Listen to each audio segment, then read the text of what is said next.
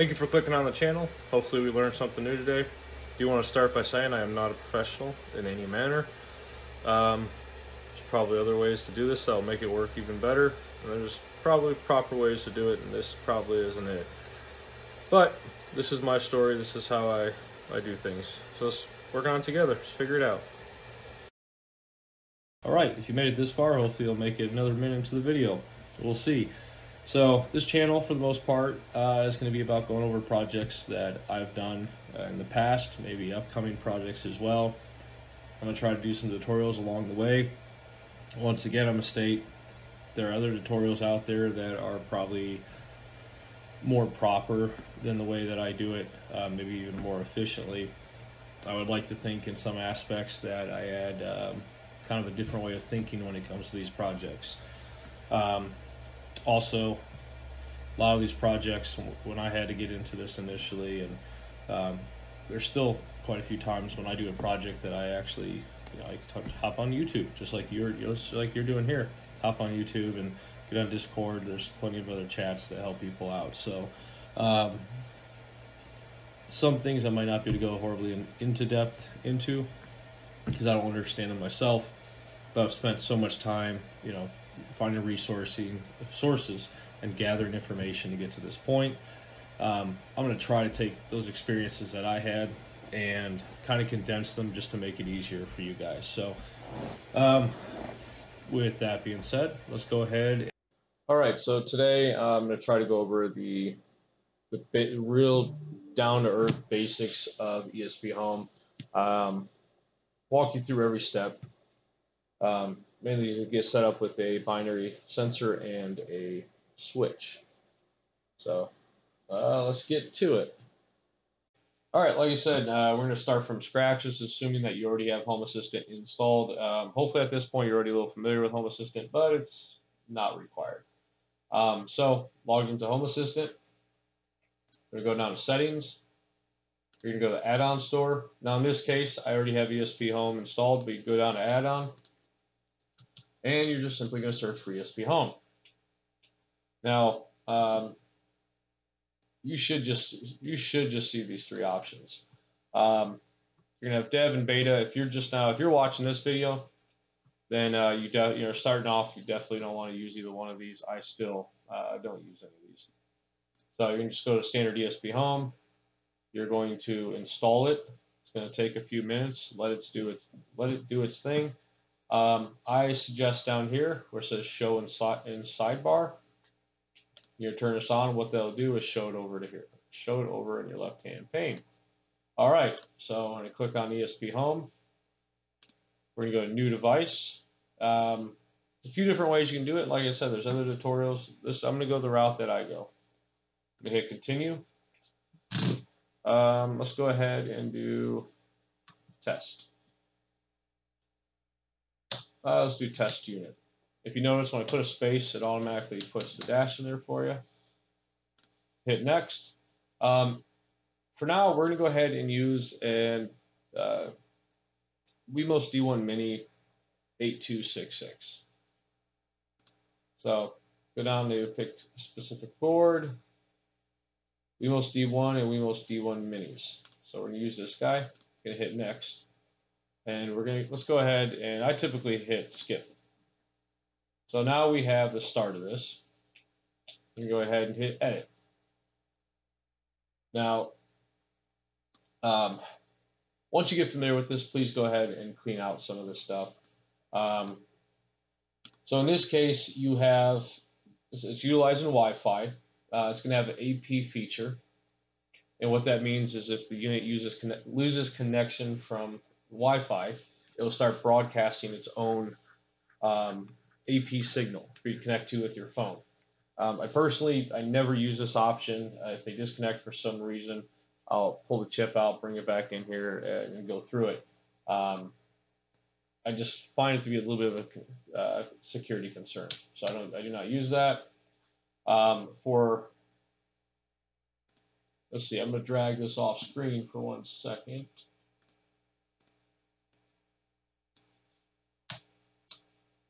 Let's now change this around to my test.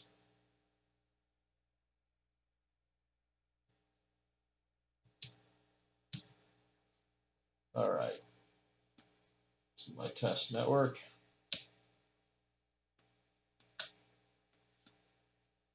All right, so when you come into ESP Home, you're going to have a secret folder in the top right. Um, it should already prompt you to add your Wi-Fi uh, SSID and the Wi-Fi password.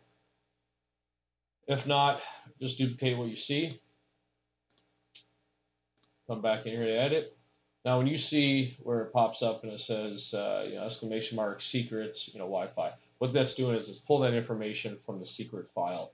Um, the benefits of that is mainly when we're doing situations like this, a screen share and whatnot. Um, for over the over the air updates, uh, we're gonna get rid of the password for now. Actually, you know what? We'll uh, we'll stick with the password. Do one, two, three, four, five, six.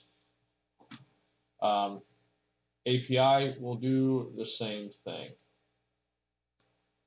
Now, I usually get rid of this. I don't want to use an encryption key. I just want to use a password.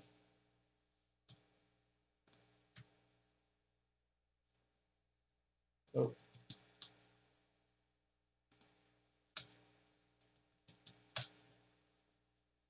Let's see. I'll go through and explain this in a moment.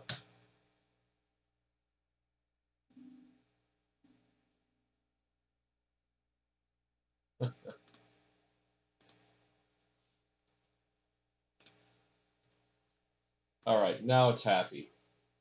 You noticed if you, uh, they just did a recent update, if it's in red, it's not happy.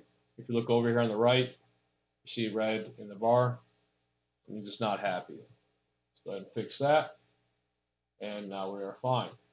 Um, so captive portal, captive portal kind of falls into place with the AP. Um, it just allows you to have access from uh, Web UI. Um, once again, I personally I don't like that. I pull that off of 99% of my projects. The reason for that is this will end up connecting with the AP, with the uh, API. Will connect to Home Assistant. I want to be able to control all my devices through Home Assistant and inside of Home, Home Assistant. Obviously, there's separate users and whatnot, different levels that you can provide different access to people. Um, I want to keep all my devices that way as well. If you enable the captive uh, portal and the web server um, portion of it, um, that leaves it you know, uh, available to anybody that's connected to your Wi-Fi to be able to log in and whatnot. It just it creates security concerns that I'm not okay with adding into it. All right, so this is kind of the, the cleanest setup that I like to get to. Um, so we have the name right here, ESP name. Now this need, it's important this matches your title, whatever you created initially you set up with. Um, this is your ESP board and type. Now I'll show you uh, in a little bit as far as what Logger does, but once we go ahead and we flash our first board, um, Logger is, is, what allows the output um, text and whatnot to see your logs. Um, the API, API is once we flash it to the chip, this is what connects it to Home Assist. Um, OTA, that's over there update. If you remove that, then anytime you want to flash updates to it, you need to manually connect it back to your computer once again, um, you know, this is your Wi-Fi information. So typically what I do at this point start adding components to it. Um, but I'm going to go ahead and save here. I'm going to hit install. Um, now there are a few things you can do.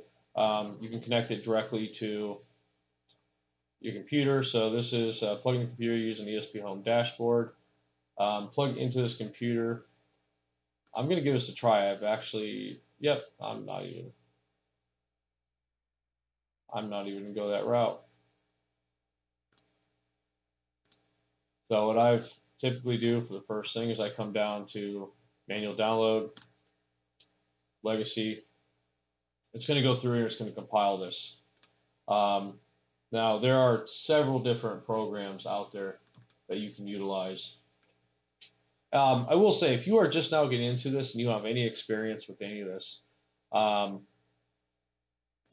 something that you're going to need, and you can go ahead and Google this. I mean, there are you know quite a few different ones out there, um, but most likely you're going to need to install a driver that will allow your computer to communicate with your ESP chip.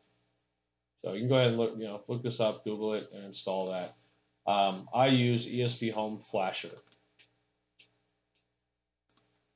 I've been using this for years now. So if we look, it compiled the program successfully.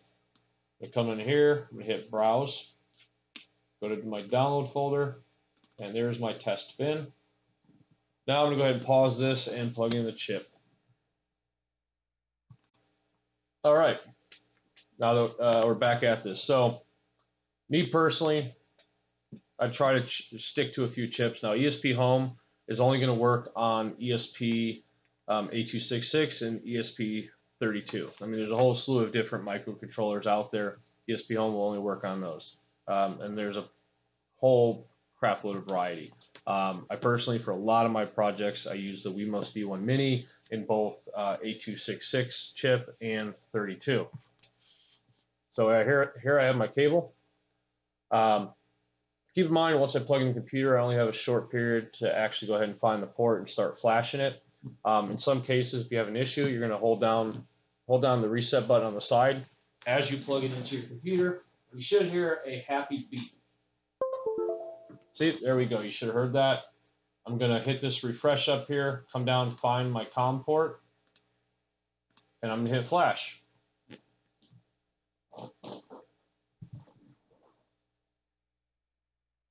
Shouldn't take too long here.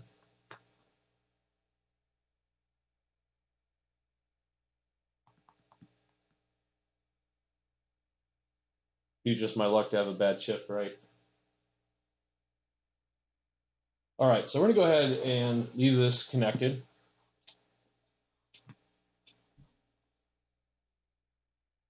So of course this will go through and gives us gives us some nice information. It's telling us what networks it found. Um, if you end up having issues as well, um, it's going to pop up here. Um, I will say if you know you start seeing issues where it says brownout, that's going to be a power issue. You're not providing enough power to the chip and whatnot. So if you are having issues, th this is beneficial uh, to be able to read the logs. All right, so I'm going to hit close, exit out of this real quick. And if you notice, this went from being offline to online. So I can go ahead and hit logs. And there's really nothing going on at the moment. We don't have anything set up, so we're not going to see anything. Um, but if we disable logger, it's it's it's going to disable that that readout. All right, so I'm going to come up here and I'm going to search ESP Home binary sensor GPIO GPIO. This is what I personally like about ESP Home is it's usually your first option here. They give you some really nice setups here. So first off, I'm going to go ahead and copy this right off the bat. Copy, and we're going to throw this down here. All right, we're going to come back up here, and we're just going to look at the configuration of variables. So we have the pin, the name, the ID, and then right here, if you're looking, update button without a So if you're 99% of the time, you're going to want to use this. So we're going to go ahead and just, you know replace that existing one.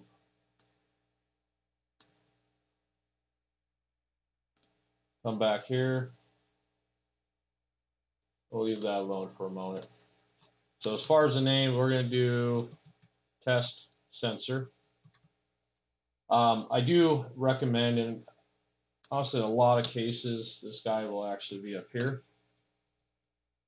Um, I would suggest either, well, I suggest doing a name and an ID. We'll get to that in a moment. So when it comes to the name, you can have the name formatted any way you want. Um, the name is what's going to present itself inside a Home Assistant. If I remove the name, this sensor is going to be internal. It will not be exposed to Home Assistant. Home Assistant.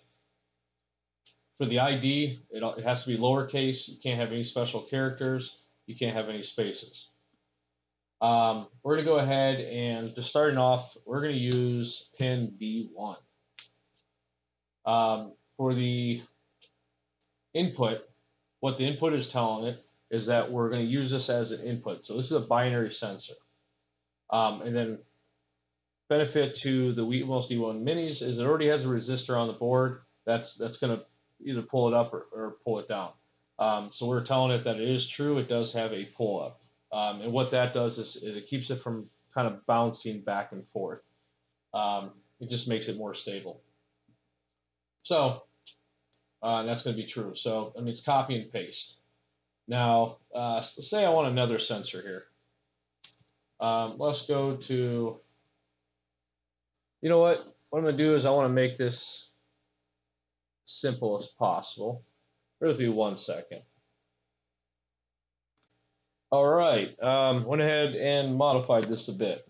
So what we're going to do is we're going to start off with D1 as a binary sensor. And we're going to go ahead and make B2, or sorry, D2, a binary sensor as well. Now, two things here is if I take and I copy binary sensor, again, it's going to throw an error. Reason for that is the binary sensor is setting the class. So you're going to have that one time. So anything below this is going to be a binary sensor. Uh, we're going to go ahead and we're going to see if I can put switch. Yep, so I'm going to put switch. So if I took this and I brought it down here, it is now a switch. All right. Um, the reason it's throwing an error here as well is you can't have two IDs with the same one. Uh, so let's go ahead and put sensor B. Oh. Come up here. That's A. So we're going to utilize D1 and D2 for the name. Let's do do button. This one, let's do touch. All right, I'm going to hit save. I'm going to go ahead and hit install. Now we can do it wirelessly since we're already connected to it. While that is doing that, is I made up a little bit of some little ends here. Um, she's a little little connection pigtails. So see D1, it's gonna be our button.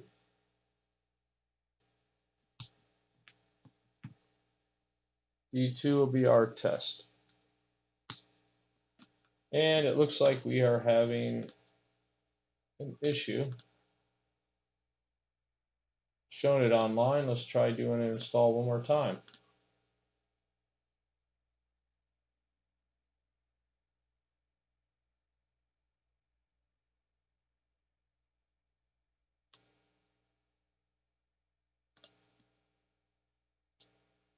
You know what? See, this is uh, part of the issue. I'm going to get rid of the uh, OTA password there. I'm going to go ahead and do a manual download again. Sorry about that. All right, so what I what I have here is I have a put I have a button. Now the way it works for most for well all the binary sensors when you take the pin that you assigned it to, in this case D1 and D2, when you take that pin and you you connect it to ground, it's going to draw that pin down. All right, so once again, open up um, my ESP flasher. I'm going to select that new bin. I'm going to try to flash. It's going to see unexpected failure. Reason for that is it's been on for a while, so I need to unplug it, hold down reset, plug it back in, re reset the port here, and I'm going to hit flash.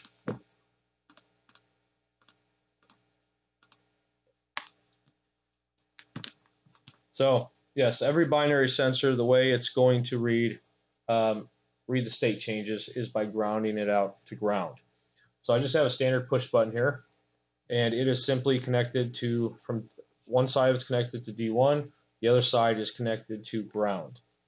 Now the second one I have is just capacitive touch right here. Um, same thing is on on here. It has it's labeled ground, um, well high slash low, and then VCC. Um, so in this case, I have you know the ground going to the ground, the high low pin. So this is in this case your binary pin is going to D2, and then I have uh, the voltage coming out of here and feeding the capacitive touch. So if you notice, when I touch it, it lights up. This is, uh, you know, the benefits of the world of, of these little devices. I mean, even these capacitive touch, um, I mean, they're less than a few bucks. All right, so if you noticed in the meantime of all this, down here we have a new notification. We're going to have a new device discovered. Now, in this case, we get to go through all this. This is my dev one. So here, discover test unit. We're going to hit config, submit,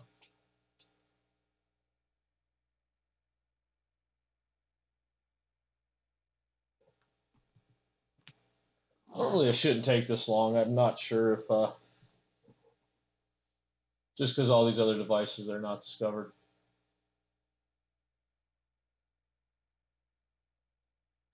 No, we're going to do it the old-fashioned way. So you can come up here, copy the name, settings, device and services, add integration, ESP home. Um, let's go ahead and hit no, just so I can show you this. Copy, or sorry, paste the name, and then add dot local. All right, it's able to figure it out. It's had it connected to the wrong network, so I'm gonna hit add integration. As an ESP home, we're gonna do this test unit dot local. Uh, the API password that we had in there was one two three four five six. Uh, use something stronger that works for this purpose. All right, so go ahead and click in there. Now we see two uh, two entities that are being exposed to Home Assistant. So we have a button and we have touch. Hit the button, goes on and off. Hit the touch, goes on and off. Now if you notice, for the button, it's currently on, you hit it and it goes off. So what we need to do is we want to revert that state. So we're going to go back to ESP home. We're going to test unit. And what I've added right here is inverted true. Now in this case, I have it commented out, so it's not seeing that. So I'm going to do is I'm going to go ahead and put that put that in there. Now I personally like to keep this for all of mine. So in this case, you know, it's not needed, so I'm just going to do false for the touch one. Um, and then also you have a filter. And what the filter is, is say you're using a capacitive touch and you have it to turn on a light. The problem is when somebody goes to touch it, they might nick it a few times. So I want to set this to where when I hit it, say it stays on for um, you know half a millisecond. So let me, uh, or sorry, half a second. Go ahead and get rid of this. In this case, though, delay on is, is how much time it takes for it to come on. So we're going to do a delay off. And let's do let's do uh, one second just for you know visual here hit install.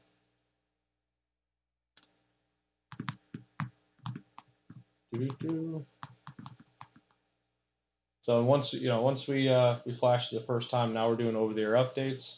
So doing it wirelessly. All right, go back to settings, device and services, test unit, and wait for them to become available again. And when the button pops up this time, it should show it shows off. There we go. So now if you notice, I hit the button, goes on, off. Now, now watch how long it takes for it to actually turn off. So,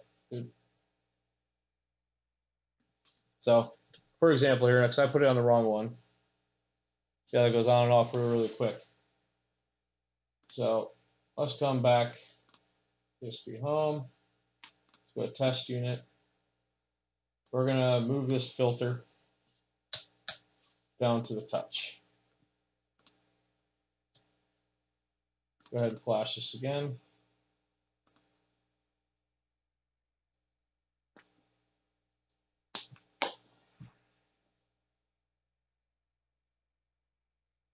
All right, we'll hang out here waiting for it to come back up.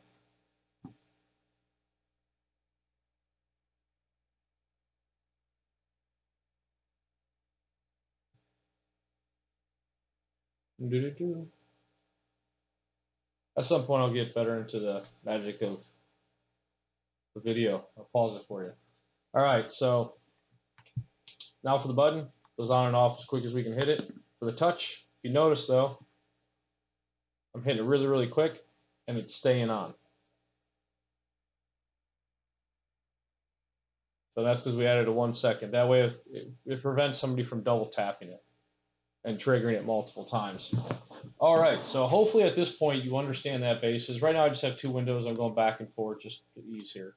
Um, all right, so now what I want to do is let's create a switch. I want to keep the, the capacitive touch. Uh, let's get rid of the button for now. So I'm going to, because I want, right now, I would suggest staying away from pin 3 and 4. Uh, so right now you have pins uh, D1, D2, D5, D6, and D7 available to use. Uh, if you know what you're doing more advanced, you can use the other pins, but for now, I'm going to stay away from them. Uh, but I only have pigtails connected to two pins. So I'm going to steal the one from D1, and let's make it a switch.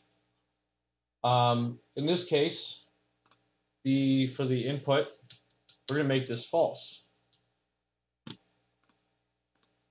When you make that false, um, obviously this is no longer a binary sensor. You do not want it to pull it one way or the other.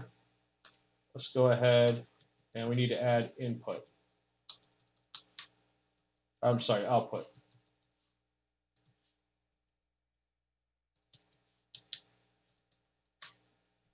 All right. So now what we did is, is we're changing this to an output because we're going to output 3.3 volts on the pin. Um, all right. So let me get rid of this. Let me unplug this guy. And I have an LED. Now for this, it's it's fairly. If you notice, it's lit up right now because right now there's some voltages go, voltage going through. It still says a binary sensor until I run this.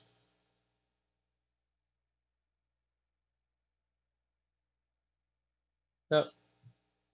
Go ahead and fix that real quick. Power of.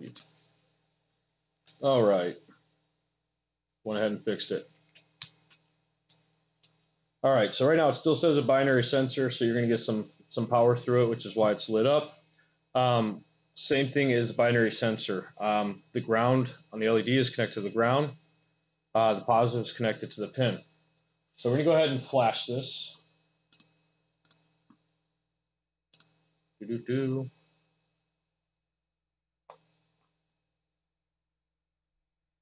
And once it reboots, it should notice it should turn off. We might have to reverse the state.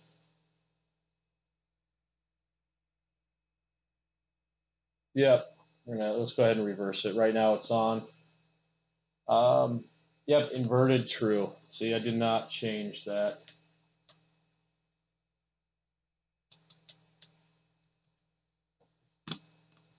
false. So you need to know that you know anyway. So same thing with the binary sensor, you can reverse the natural state of it. We're uploading it. Once it finishes, it should.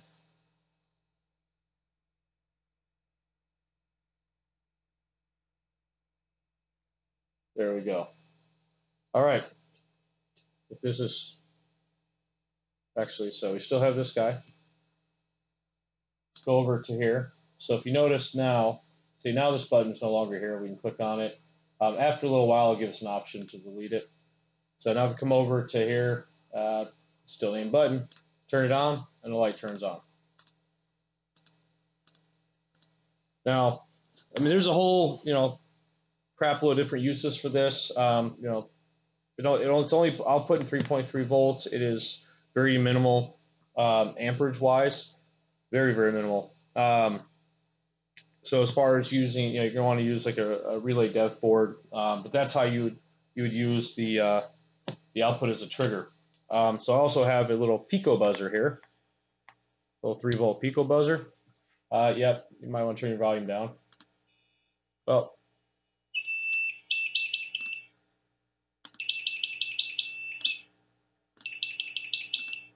So, and you actually using an output you can actually get really creative with these and get them to play tunes. That might be uh, something I do later down the road.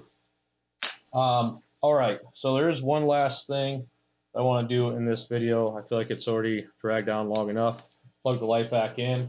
To come back in here, and what we're going to do is I want this to where when we hit the button, or when we hit the touchpad, I want it to turn the light on.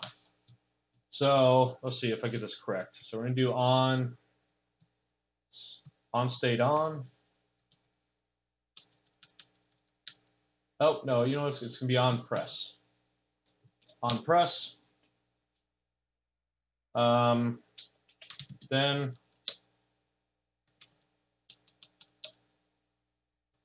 turn, switch. Oh, I'm sorry.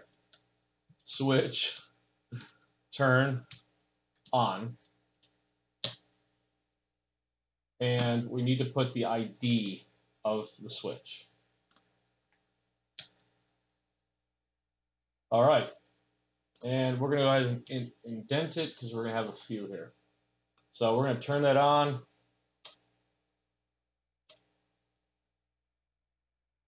That's a pain. We're going to want to turn off. Actually, yep, you know what, we'll do this. So we can do, see, we're going to delay, and we're going to put five seconds. Um, so what this will do is on press, it will turn it on. After five second delay, it will turn it off. Now we're going to go and copy the same thing. And we're going to do on release.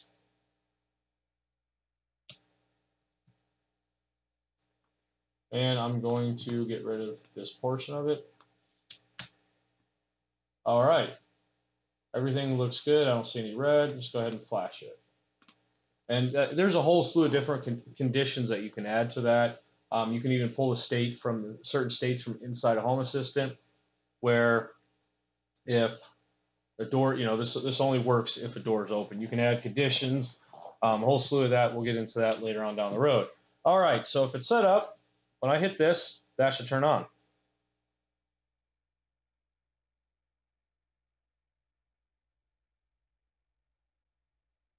So now keep in mind, the reason when I let go, it stays on as long as it does. it's getting a little tripped up here because I have when this turns on, it turns on, it turns off five seconds later. So let's clean this up just a little bit. So I just want to show you this feature. Let's get rid of that. And for the delayed off, let's change this to 500 milliseconds, which is typically what, what I would want. All right, let that flash.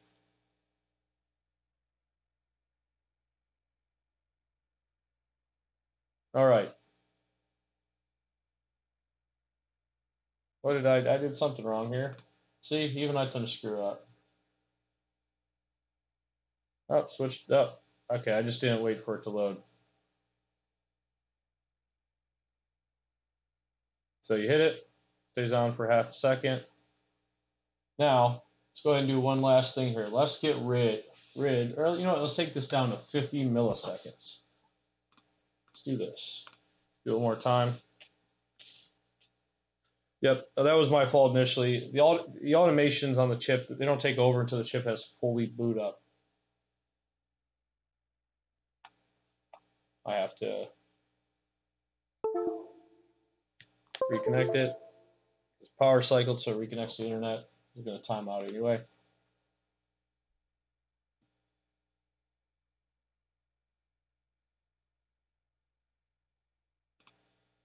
Uh, see if we can figure out what's happening to the logs here. It doesn't seem to want to connect.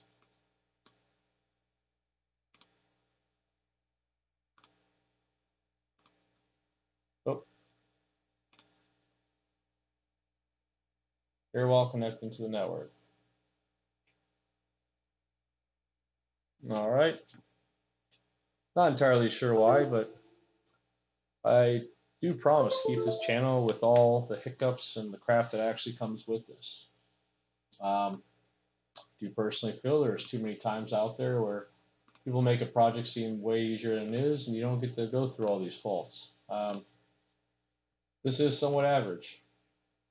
See if it'll actually run. Now, I do expect you uh, you guys to have less issues than me. Um, network's a little complicated. On top of that, I did have this chip initially. We're gonna do this manually.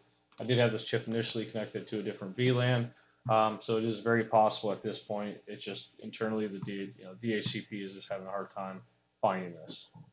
So I'm gonna do this manually. Go ahead and select that file again.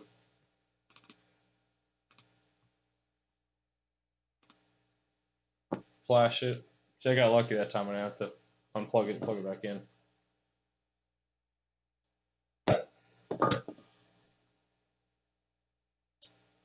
Do apologize for the length of this video now at this point.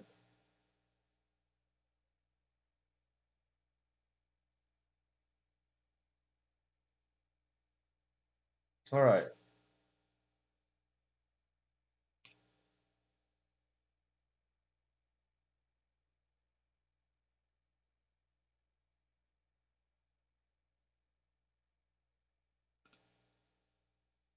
See if it actually connects. All right. In the meantime of that, it should go much quicker. You notice since I took it down to, yep, finally connected. So I took it down to 50 milliseconds. And I um, at this point, there's no delay on, no delay off. So if you notice, make it on as quick as you want. If you look at the screen here, um, I just realized this is kind of putting, can't really see the touch portion. There we go. So, so you notice the sensor and the switch is turning on. Now, like I said, there's a whole different set of uh, conditions and automations and stuff. And to be honest, I mean, you can go, we can go away from way, way down the rabbit hole there. Um, so that's down the road. That's gonna be for another video. Um, but this is the main setup. Where I started was was simply with this. Um, you know, I personally, if it's uh, if you're controlling a relay and you need it to come on and off real quick, I suggest doing the automation itself on the chip.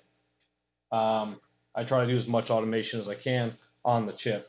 Um, now, don't get me wrong. As far as connecting these two together, we could have completely. You know what? I will show you that. Let's. Um, yeah, watch. It's not going to connect. I'm gonna have to do it manually. All right. So I'm going to get, get rid of this. I'm going to go ahead and see if that will wirelessly, wirelessly do it.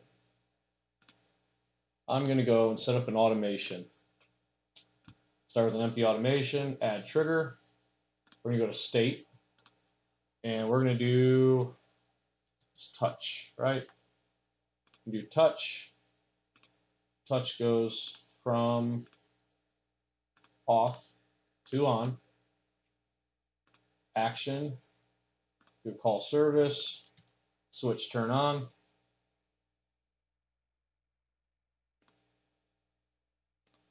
and button. All right, and do need to rename that. Actually, here uh, we'll do light on.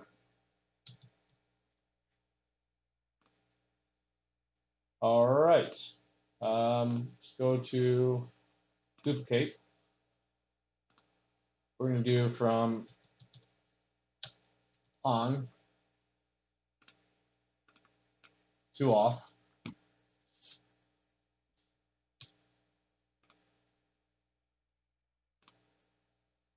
This is going to be switch turn off. Button.